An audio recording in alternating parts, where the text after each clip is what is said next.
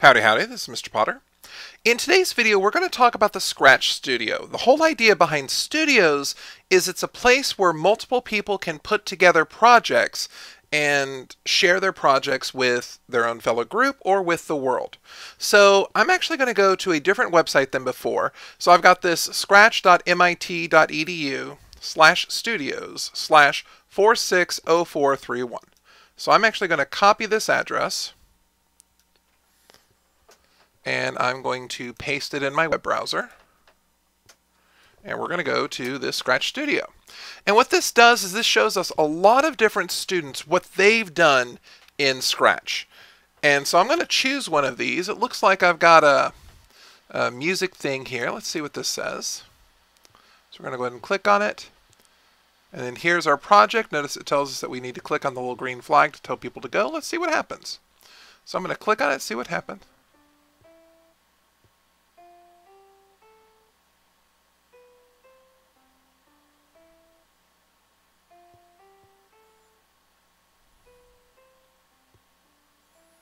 Interesting.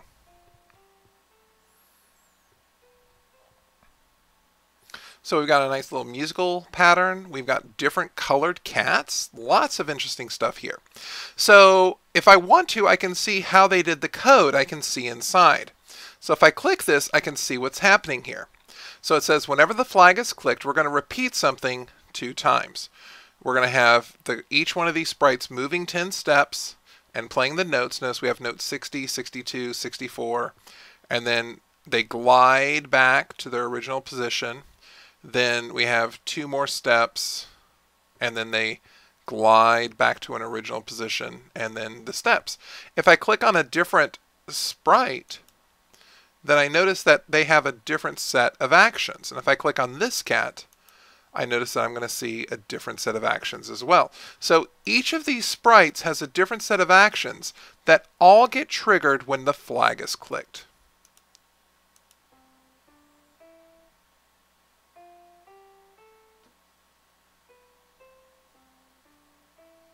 Interesting. Now notice that the pink cat repeats twice. Notice that the blue cat repeats three times, and notice that the yellow cat only repeats once. So that's why that yellow cat stopped while the other two cats continued. This is interesting. And what's really nice is that we have this button here called Remix. So what I can do is I can save a copy of this project and tweak it. So if I want to change the notes that are played, or if I want to change properties about these cats, I wonder if I could right click and info and I can get some information about this cat. Interesting. I can change its direction. I can change its rotation. Lots of nice things that I can do here. So this is one of the things that we can do. So I'm going to go back to the page we were just on. This is the one that showed the uh, the thing in action. Going back to the studio though, I can see that there's lots of other things that people have made. So let's see, I've got this uh, hello mommy and dad. Let's see what this says. So it says it wants us to click the flag. We're going to click the flag. Hello, mommy and daddy. And the cat's walking off the screen. Interesting.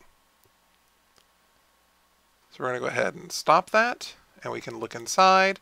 And we can see what they've got here is it says repeat 10 times. We're going to move 10 steps. He's turning left and right, shading and doing the pin size and saying hello, mommy and daddy. So this is a place where we can put stuff. This is a place where other people can put stuff and we can actually make productive comments on them. So we're going to go back to where we were. And so it's a nice collection of stuff. There's lots of different things we can see. What's this, the red button? Let's see. Keep clicking the button, clicking it forever. So I'm going to hit the flag. It says don't click it. So let's see if I click it. Sup, please don't click me.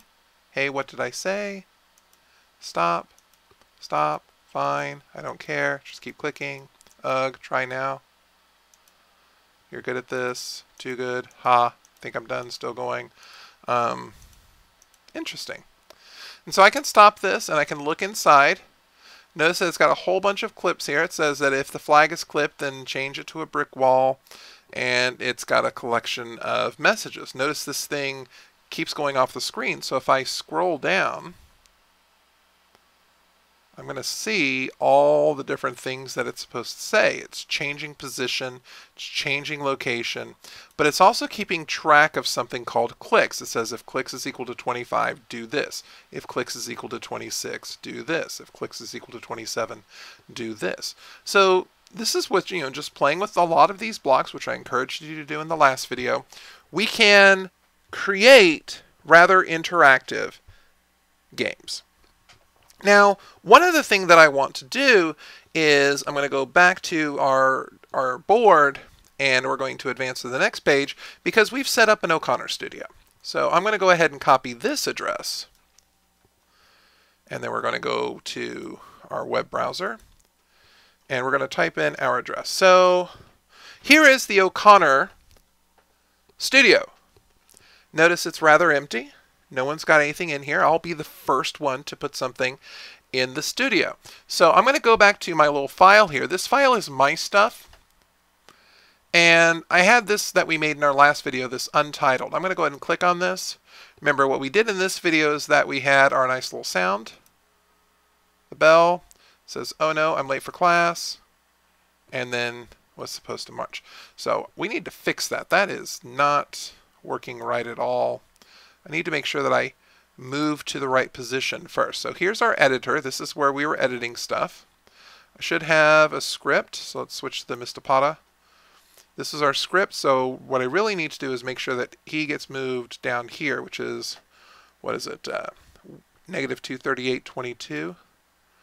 So we're going to start at negative 238 and 22, or negative 22 see if this works the way we want it to.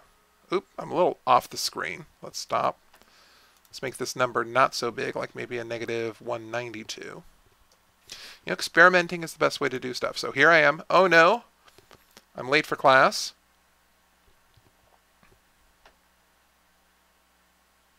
And then I go back. Interesting. So I'm going to go ahead and move him back to his original position. And I'm going to change this. So the title, instead of saying Untitled 2, which is boring, is going to say, I'm so late.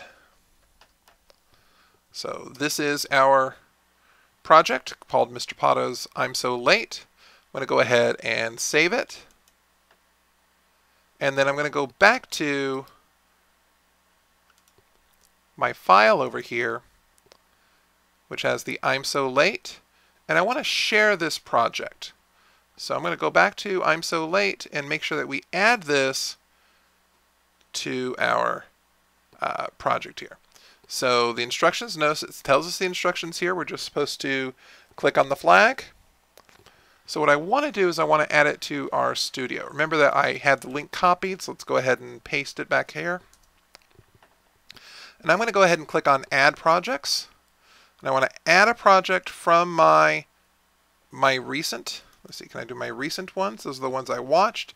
I've got my favorites. I've got my shared. I'm going to need to put something down here. Uh, I can also just add by the URL. So let's get the URL of the project that we just did. This is the I'm So Late project. And so I'm actually going to copy this URL and go back to Untitled Studio add projects and paste it in. And so now we should have a project in our studio. So let's refresh this. Nope, still not adding it. I wonder if it's because I haven't shared this project yet. I really need to share this project in order to get it because it said it was an unshared project. Let's click on share. So now that I'm shared, I can put stuff here and just talk about different things. So now I'm wondering if when I go to our studio, am I going to see it? So let's go to our studio. Let's add. And we have the shared project. I'm so late. I'm going to click on the add. And now it's part of our studio. So the idea here is that I can take this O'Connor High School studio and we can all add to this. So now any of us from O'Connor can add projects to this gallery. And so what I'd like you to do is take the project that you created last time with your experimentation and add it to our O'Connor High School studio. Okay, have fun.